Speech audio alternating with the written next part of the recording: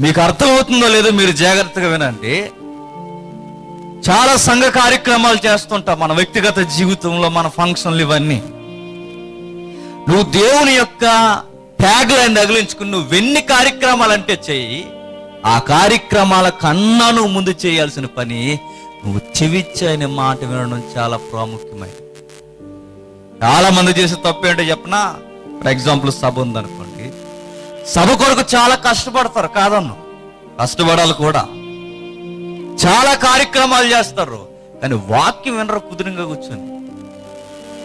నువ్వు దేనికి? ప్రభు నీ కొరకే కదా ప్రభు ఈ సభ అంతా నేను రెడీ చేసింది. నీ కొరకే కదా ప్రభు ఇవన్నీ నేను రెడీ చేసింది. నా కొరకే. వీటన్నిటికన్నా బెస్ట్ ఒకటి ఉంది. కూర్చుని నా దగ్గర జాగ్రత్తగా విను.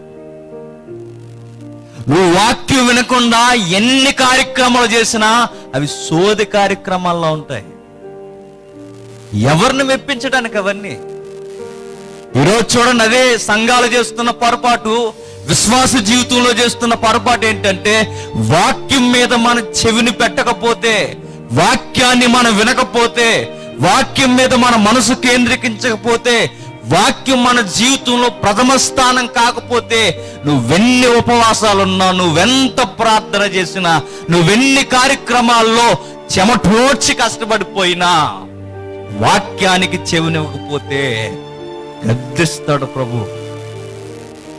మీరెన్ని చేయండి వాటన్నిటిలో బెస్ట్ ఒకటి ఉంది వాక్యాన్ని వినాలి. అందుకే నాతో పాటు వచ్చిన వారు ఎవరైనా వాక్యం వినకపోతే నాకు ఫైర్ అయిపోతే ఇంకా నాకు కుదురుంటుంది మనసు. అవసరం లేదు నాతో రావడం. వినాలి వాక్యం. నన్ను మెప్పించడానిక వచ్చేది? వాక్యం వినాలి వాక్యం వినాలి. వాక్యం నేర్చుకోవాలి అక్షరాక్షరం దేవుడు నా కొరకు ఏం చెప్పాడో నా ద్వారానే కాదు అనేక మార్లు అనేక పరిచారకుల ద్వారా వినాలి. వాక్యం వినని జీవితాలు ఏవి మనల్ని బాగు చేసేవి? మార్త ఎవరి కొరకు వంట రెడీ చేస్తుందయ్యా అంటే ప్రభు కొరకే. మార్త అంత విస్తారమైన పనులు పట్టుకుంది ఎవరి కొరకయ్యా అయితే ప్రభు కొరకే. కానీ మార్త చేసిన బిగ్గెస్ట్ మిస్టేక్ ఏంటంటే పనులు ఎక్కువైపోయినాయి వాక్యం కన్నా. ముందు వాక్యం వినడానికి పనులన్నీ ముగించుకోవాలి. ఇప్పుడు గుర్తుపెట్టుకోండి లైన్ ఎప్పుడు మర్చిపోకండి. నీకు నచ్చినట్టు చేస్తే ప్రభువుకు నచ్చదు ఆయన మాట వింటే మన జీవితాలు ఆయనకు నచ్చుతాయి. ఆయన మాట వినకుండా నాకు నచ్చినట్టుగా కాదు నేను చేయాల్సింది. ఆయన చెప్పినట్టుగా నేను చేయాలి. ఆయన చెప్పినట్టుగా నేను వినాలి అంటే వాక్యం నాకు వినబడాలి కదా. మార్తా చేసింది పొరపాట. పొరపాటే. మార్తా చేసింది పొరపాట అని మరలా మనం పెద్ద ప్రశ్న వేసుకుంటే పొరపాటే. మార్తా చేసింది ఎప్పుడు రైట్ అవుతుందంటే అన్నిటికన్నా ముందు ప్రభు మాట విని ఆ తర్వాత పనులు పెట్టుకో అదంత ఉత్తమం. ఆయనకి భోజనం పెట్టడం మంచి సంగతే.